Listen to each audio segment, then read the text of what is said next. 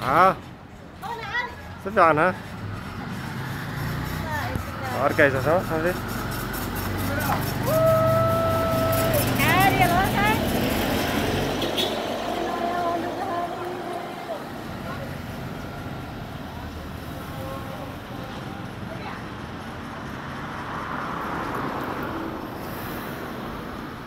This is Mandera town today evening. What you see in the picture is locust. This is very unfortunate and there is no intervention from the government. The local communities are suffering because of the drought. And now there is this invasion of locusts everywhere. May God save us.